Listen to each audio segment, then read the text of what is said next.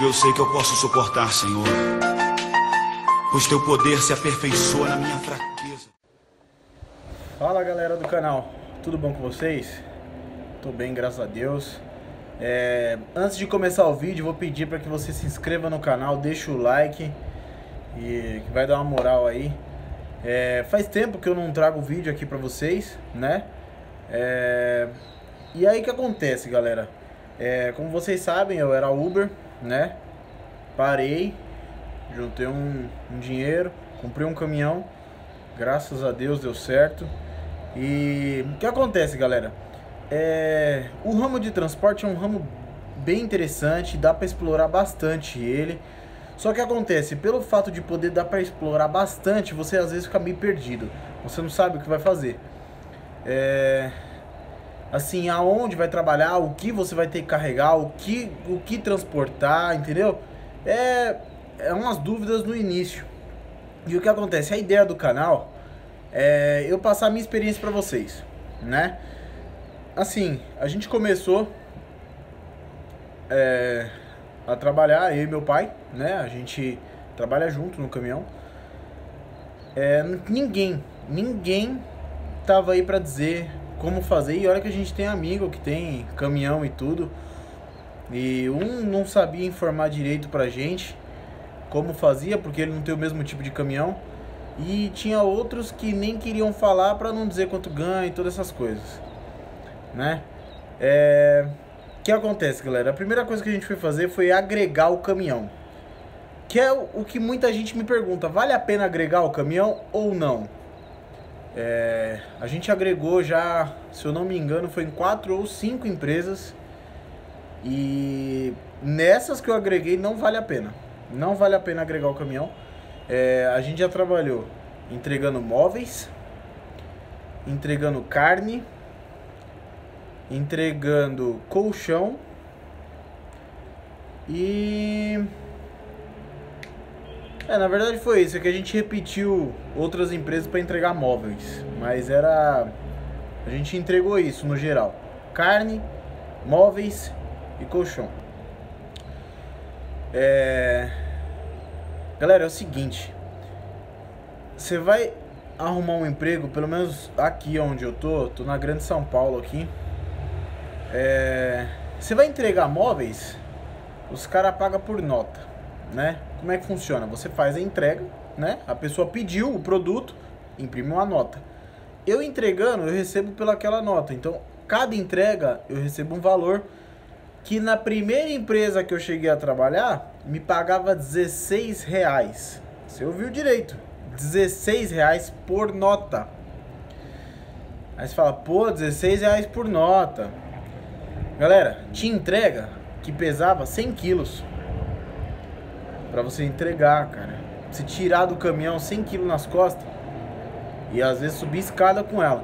Porque que acontece? Se você não entregar, você não recebe pela nota. Então muitas vezes a gente chegava no lugar, você gastava diesel até lá, não achava o cliente, pronto, não entregou, não recebe. Ou chegava lá, às vezes as caixas não entravam no elevador, era lá no oitavo andar, ou você sobe ou você também não recebe a entrega, né? Então, é muito difícil isso, cara. É muito difícil porque o valor é pouco. E o que acontece? As empresas, elas têm prazo para pagar. A maioria delas, o que acontece? Você começa a trabalhar, você só vai receber o seu primeiro salário depois de 30 dias. O seu primeiro pagamento depois de 30 dias. Então são 30 dias você vai trabalhar todo dia e não vai ver um real do dinheiro. Depois é a cada 15 dias. Então você trabalha 15 dias, a cada quinzena você está sempre recebendo. Mas mesmo assim, galera, é 15 dias, né? É diferente de você ir lá e fazer um frete que você recebe na hora. E aí, a gente fazendo esse negócio de imóvel, não estava dando certo, muito pouco pagamento. A gente foi procurar uma outra de imóvel. O cara pagava 20 reais a nota. Que acontece? Aí você já começa a pegar uns caras meio sem vergonha. Meio não, totalmente sem vergonha. Ele falava que pagava 20 reais a nota. E aí, meu, 20 reais a nota é o quê? 20 reais a nota. Se eu tô levando um bagulho de 100 quilos e eu tô levando um bagulho de 2 quilos, é 20 reais. O que acontece? Te entrega, que era caixinha, a gente deixava com o porteiro, assim, ó, pequenininha, parecia um almoço o negócio. Essas aí não era 20 reais. Essas daí ele pagava 10 reais. Só que ele não tinha avisado pra ninguém. Entendeu? É, a gente só foi descobrir isso no dia do pagamento. Faltando uma parte do dinheiro, falou o que aconteceu. Ah, que essa. Meu, um quebra-pau um quebra danado. E o que acontece? Você não tem vínculo com a empresa. Você vai, você agrega seu caminhão, você não assina contrato, você não assina nada. Você tá indo, beleza. Você não tá indo, beleza também. Entendeu? E aí eu falei, pô, então por que, que as caixas pesadas não pagam mais, né? Enfim, já não deu certo. Que 20 reais também é uma miséria, é pouco demais, entendeu? Você não consegue se bancar e bancar um caminhão com 20 reais por nota. Ah, mas se ficar 200 entrega, você não faz no dia, entendeu? Você vai lá, você carrega lá. Ah, tem 40 notas. Faz aí 40 vezes 20. É um valor interessante para você fazer no dia, não é? Você vai se matar para fazer demais? Faz. Não vai fazer porque não dá tempo. O que acontece? A maioria das entregas aqui é prédio. Prédio é o quê? Das 9 às 5. É o horário. Você chega para fazer entrega. Até o porteiro interfonar lá. Até ele demora, a maioria dos lugares, demora 10, 15 minutos para dizer que a pessoa não tá lá.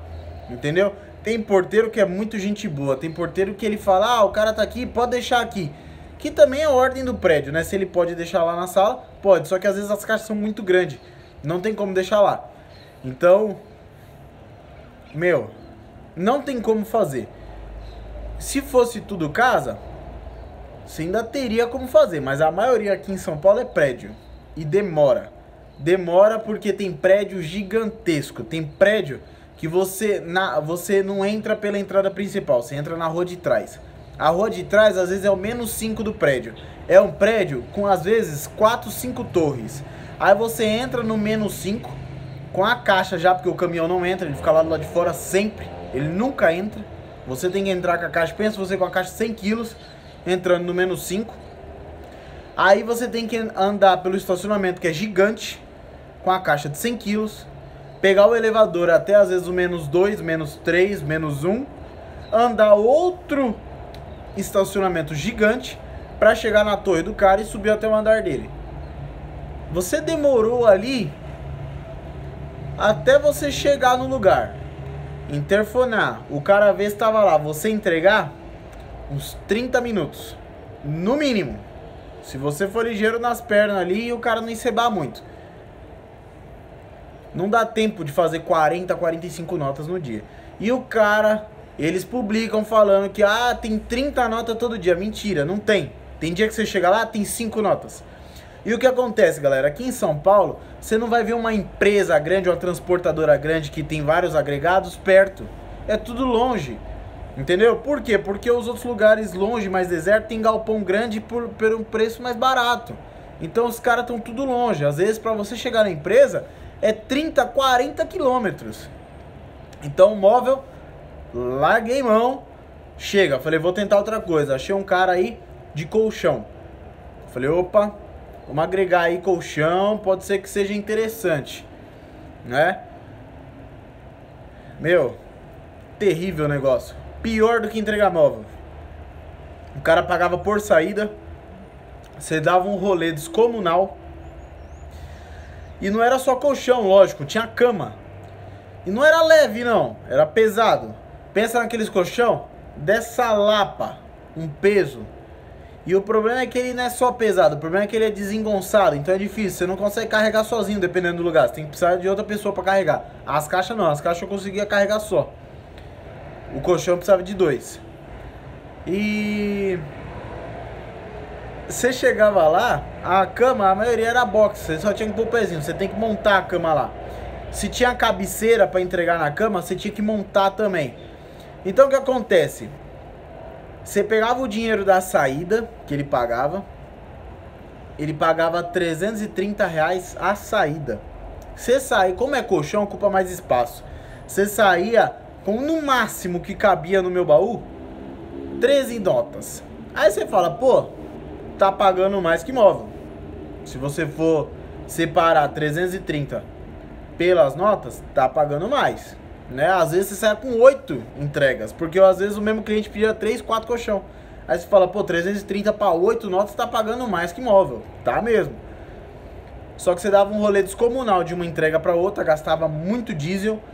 Já cheguei a pagar pedágio, que a empresa não paga, tá nos 330, entendeu? E o que acontece? Muitas vezes eu chegava lá, tinha cabeceira para montar, entendeu? A empresa nem me ensinou a montar cabeceira, cara. Eu tinha que me virar lá.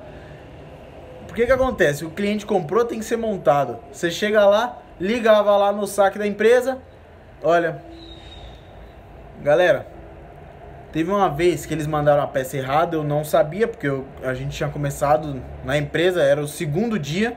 Liguei no saque, a mulher falou: Não, as peças é essa, tá certo, tá certo. A gente ficou sem brincadeira. Três horas tentando montar uma cabeceira, galera. Pra descobrir no final, eu liguei pra um outro cara da mesma empresa. Falei, ó, oh, mano, eles mandaram isso aqui, mas no bagulho não encaixa, velho. Não tem como encaixar. Ele, ah, tá errado. Então os caras do saco me falou que tava certo, o bagulho tava errado. Eu perdi três horas lá tentando montar e o cliente em cima, e aí, vai montar, não vai? Então foi uma bosta. Foi uma bosta. E. Meu, colchão, olha, terrível, porque os colchões eram caros. E o que acontece? São grandes e desengonçados. Os caras colocavam chutando no baú que era para poder caber mais na hora de puxar ele não saía, ficava preso. Se você pegar numa costura e rasgar, galera, eu chegava a entregar colchão custava 3 pau e 200. Se ele der uma rasgadinha, a empresa falava que é seu, você vai pagar valor de nota. Pensa, eu saí ali, deu uma descosturadinha, o cliente vê, não quer, porque tinha que desembalar e montar. O cliente viu, não quis, é 3 pau e 200 pra você pagar, velho. Dá nota. Pronto. Entendeu?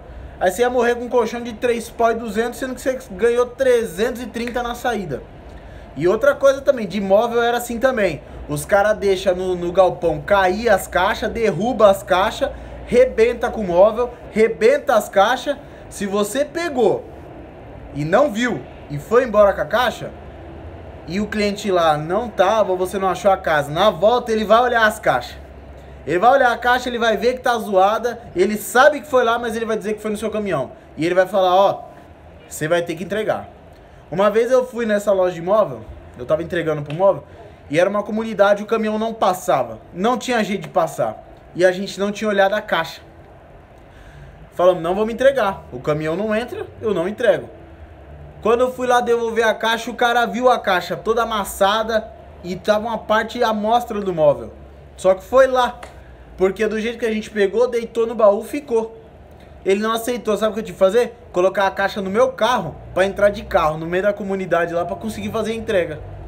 Entendeu? Porque senão eu ia ter que pagar o móvel também. Outra desvantagem de você trabalhar agregado. Mudamos, fomos entregar carne seca, porque o meu baú não é refrigerado.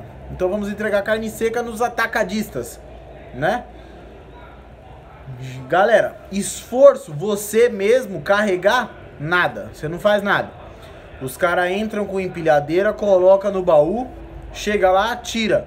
Parece simples? Parece. Sabe quanto ele pagava? 270 reais a saída, mais uma merreca por quilômetro rodado. Você rodava em torno aí no dia, indo pra lá carregar e fazer as entregas, uns 100 km. Você ganhava uma média aí de 330, 340 reais. Era o que ganhava. Para rodar 100 quilômetros. Entendeu? Galera, chegava lá no atacadista, os caras às vezes enrolava 4, 5, 6 horas para descarregar do caminhão. Só que às vezes você tinha dois, três mercados para passar, só que você perdeu 6 horas só em um. Só que os caras só descarregam até 6 horas da tarde. Muitas vezes o caminhão vem dormir com carga dentro. Entendeu? Você perde tempo demais. Perde tempo demais. O caminhão fica com peso e eles colocam carga mesmo.